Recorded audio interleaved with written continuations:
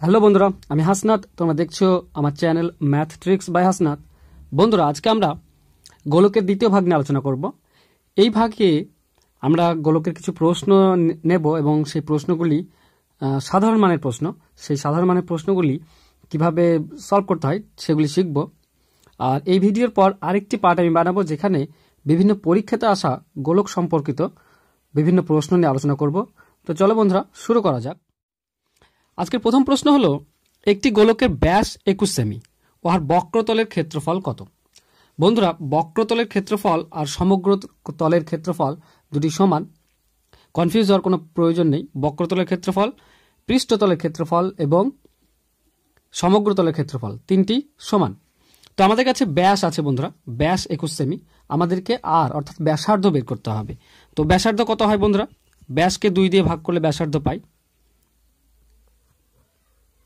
তো আমাদের ব্যাসার্ধ হচ্ছে একুশ বাই দুই। এবার বক্রতলের ক্ষেত্রফল। তো বক্রতলের ক্ষেত্রফলের ফর্মুলা আমরা কি জানি বন্ধুরা? ফোর পাই আর স্কোয়ার তো আমরা সরাসরি অ্যাপ্লাই করব ফোর পাই আর স্কোয়ার এটার মান কত? সেটা বেরোলেই আমাদের অ্যান্সার চলে আসবে। তো চার ইন্টু পাই অর্থাৎ বাইশের সাত আর স্কোয়ার অর্থাৎ একুশ বাই দুই তার স্কোয়ার তো এটাকে আমরা দুবার লিখতে পারি। আমরা কাটবো সাতকে একুশ দিয়ে কাট, একুশকে সাত দিয়ে কাটলে তিন, দুটি দুই আছে, চার কেটে যাবে। তো আমাদের দাঁড়াবে কত? একুশ, আর এখানে আছে একুশ তিন একুশ তিন তেষট্টি, তেষট্টির সঙ্গে বাইশ গুণ, অর্থাৎ ছয় বারো ছয় বারো। তো হচ্ছে ছয়, আট তিন এক। অর্থাৎ তেরোশো ছিয়াশি হবে আমাদের অ্যান্সার। এত বর্গ সেমি। তো আমাদের অ্যান্সার চলে এলো তেরোশো ছিয়াশি বর্গ সেমি। আমরা যাব নেক্সট প্রশ্নে। পরের প্রশ্ন হলো, কোনো গোলকের ব্যাস চোদ্দ সেমি হলে তার ঘনফল কত? বন্ধুরা, ঘনফল অর্থাৎ আয়তন কত? তো আমাদের এখানে ব্যাস বলা আছে আবার। তো আমার, আবারও আমাদেরকে বের করতে হবে ব্যাসার্ধ অর্থাৎ আর তো চোদ্দ বাই দুই সমান সাত। সাত সেমি আমরা ব্যাসার্ধ পাচ্ছি। আমরা সরাসরি অ্যাপ্লাই করব আয়তনের ফর্মুলা আয়তনের ফর্মুলা আমরা কি জানি বন্ধুরা?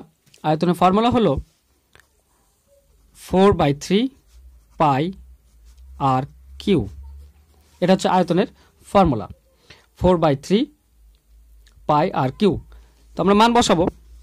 চারের তিন পাই হচ্ছে বাইশ বাই সাত আর আরের কিউ অর্থাৎ তিনটি সাত। তো একটি সাত আমার এখানে কেটে যাবে। তো আমাদের থাকছে কত? আমাদের অ্যান্সার আসছে উপরে গুণ করলে হচ্ছে আমাদের চার বাইশ সাত আর সাত গুণ করলে হয় তেতাল্লিশ বারো বাই তিন। এটা যদি আমি পূর্ণ ভাঙি তো আমাদের আসবে চোদ্দ সাঁত্রিশ পূর্ণ একের তিন। তা এটাই হয়ে যাবে আমাদের অ্যান্সার এত সেমি কিউ যাব আমরা নেক্সট প্রশ্নে।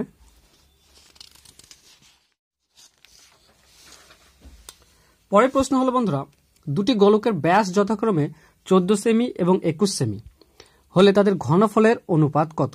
তো বন্ধুরা, আমরা ব্যাস পেয়েছি চোদ্দ আর একুশ।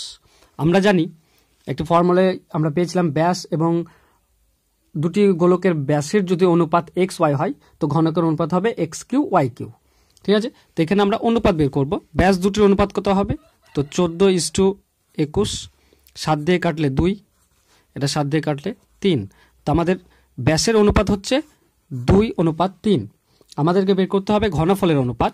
তো হয়ে যায় প্রথমটার কিউ দ্বিতীয়টার কিউ অর্থাৎ দুইয়ের কিউ অনুপাত তিনের কিউ আমাদের অ্যান্সার আসবে দুইয়ের কিউ অর্থাৎ আট, তিনের কিউ তিন তিন নয় নয় তিন সাতাশ।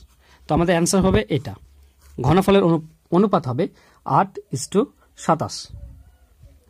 যাব আমরা পরের প্রশ্নে। একটি গোলকের আয়তন পৃষ্ঠতলের ক্ষেত্রফল সমান হলে, আয়তন পৃষ্ঠতলের ক্ষেত্রফল সমান হলে গোলকটির ব্যাসার্ধ কত? আয়তন ও তো বন্ধুরা, আয়তন ও পৃষ্ঠতলের ক্ষেত্রফল দুটি সমান আছে। তো আমাদের ব্যাসার্ধ চেয়েছে, তো আমরা আয়তন আর পৃষ্ঠতলের ক্ষেত্রফল সমান জানি। আয়তনের ফর্মুলা কি? আয়তনের ফর্মুলা ছিল four by three pi r cube. এর সঙ্গে সমান কি? না, ক্ষেত্রফল সমান, অর্থাৎ ফোর পাই আর স্কোয়ার। এটা সমান আছে। এখান থেকে আমাদের আর এর মান বের করতে হবে। তো বন্ধুরা, এখানে তিনটি আর আছে, গুণ। তো একটি আর আমি এখানে রেখে দিলে আর স্কোয়ার বাকিটা থাকে। তো সবগুলো নিচে চলে আসবে। এখানে একটি আর যদি রেখে দিই, তো এখানে আছে ফোর পাই আর স্কোয়ার নিচে আসবে একটি পাই একটি আর রেখে দিলে আর স্কোয়ার নিচে আসবে। সেই সঙ্গে পাই নিচে আসবে। আর এটি নিচে আসবে চারের তিন, তো তিনটি উপরে চলে যাবে আর নিচে হয়ে যাবে চার। তো আমরা চারের সঙ্গে চার পায়ের সঙ্গে পাই আর স্কোয়ারের সঙ্গে আর স্কোয়ার কেটে দিলাম। তো সবগুলো কেটে গেল। থাকছে কি বন্ধুরা আর সমান তিন। তো এটাই হয়ে যাবে আমাদের অ্যান্সার গোলকটির ব্যাসার্ধ হবে তিন সেমি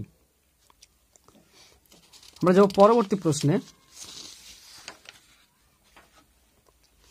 একটি গোলকের ব্যাসার্ধ সাত সেমি হলে গোলকটি প্রতি বর্গ সেমি পঞ্চাশ পয়সা হিসেবে রং করতে কত খরচ পড়বে? তো বন্ধুরা, সাত সেমি ব্যাসার্ধ বলা আছে। রং করব, অর্থাৎ আমাদেরকে ক্ষেত্রফল বের করতে হবে। তো ক্ষেত্রফলের ফর্মুলা আমরা জানি ফোর পাই আর স্কোয়ার, এটা ক্ষেত্রফলের ফর্মুলা। তো বন্ধুরা, এটাই আর এর মান বসিয়ে আমরা মান বের করলে আমরা ক্ষেত্রফল পাবো। তার সঙ্গে আমাদের কি করতে হবে? যত টাকা খরচ হয়, সে টাকাটি গুণ করতে হবে। এখানে পয়সায় আছে, পঞ্চাশ পয়সা, অর্থাৎ হাফ টাকা, একের দুই টাকা, তো একের দুই গুণ করে দিলাম। আমাদের অ্যান্সার চলে আসবে। বন্ধুরা, পঞ্চাশ পয়সা মানে একের দুই টাকা, হাফ টাকা। তো এখানে আছে চার, পাই মানে হচ্ছে বাইশ বাই সাত আট স্কোয়ার অর্থাৎ সাত গুণ সাত গুণ হাফ। তো এখানে সাতের সঙ্গে সাত কাটছে, দুইয়ের সঙ্গে কাটছে এটি, দুই। তো বাকিগুলো গুণ করব আমরা। দুই আর বাইশ গুণ করে চুয়াল্লিশ, চুয়াল্লিশকে সাত দিয়ে গুণ করব। চার সাত আঠাশ, চার সাত আঠাশ আর দুই তিরিশ। তো তিনশো আট টাকা। বন্ধুরা, এটি আমাদের টোটাল খরচ হবে। তো বন্ধুরা, এই ছিল সাধারণ মানের গোলক নিয়ে কয়েকটি প্রশ্ন। আশা করছি তোমাদের ভালো লাগবে। আমি পরে ভিডিওতে পরীক্ষায় আসা গোলক নিয়ে কিছু প্রশ্ন নিয়ে আলোচনা করব বন্ধুরা। আজকের মতো এই পর্যন্তই। ধন্যবাদ।